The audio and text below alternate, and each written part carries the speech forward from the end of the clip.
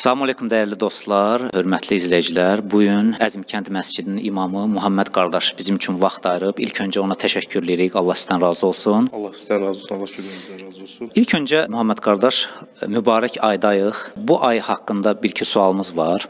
Ramazan ayının məqsədi nədir? Orucun məqsədi nədir? Oruç tutduğumuz zaman əsas önəm nələrə verməliyik?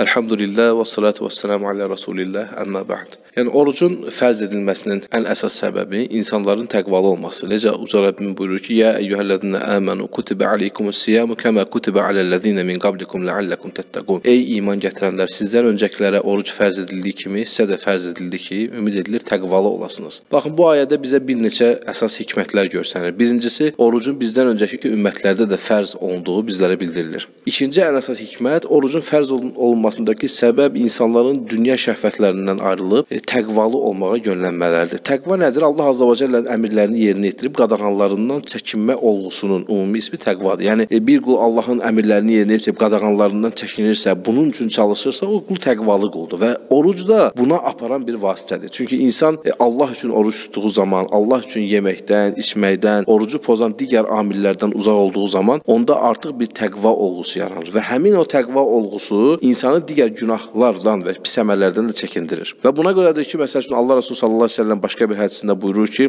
"Mən samə Ramadana imanan və ihtisaban ğufira lahu ma taqaddama min zənbi." Kim Ramazanı e, imanla və əcrini Allahdan gözləyərək oruç tutarsa, Allah azza və cəllə onun günahlarını bağışlayar. Başqa bir rivayətdə gəlir ki: "Mən qamə Ramadana imanan və ihtisaban ğufira lahu ma taqaddama min zənbi." Kim Ramazanı imanla və əcrini Allahdan gözləyərək iqamə edərsə, Allah azza və cəllə onun günahlarını bağışlayar. Yəni görün necə gözəl aydır. Həm oruç tutmağa görə günahlar bağışlanır, həm həmin ayı iqamə etməyə görə, yəni təravih namazlarına görə, Quran oxumağa görə, dua eləməyə görə, yəni bu ayda edilən hər bir ibadətin özünə xas faydaları var. Və Ramazan ayı elə bir mübarək aydır ki, Allah azza və cəllə buyurur ki, "Şəhrü Ramazan əlləzi unzə fihil Quran." Ramazan ayı o aydır ki, o ayda Quran nazil olmuşdur. Yəni bu müqəddəs kitabın qiyamətə qədər hökmünün varid olduğu bu kitabın eniş ayı, eniş vaxtı Ramazan ayıdır. E, bu Ramazan ayının bizim qatımızdakı dəyərini e, bir qat önə çıxardır. Bir də bundan əlavə Allah Azza və Cəllə Ramazan ayında müsəlmanlara bir ay boyunca Allah üçün təqvalı olmalarına görə oruç tutmağı da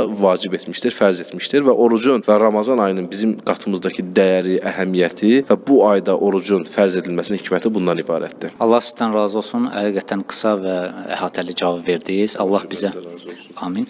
Allah bizə gözəl şəkildə keçirməyi nəsibləsin.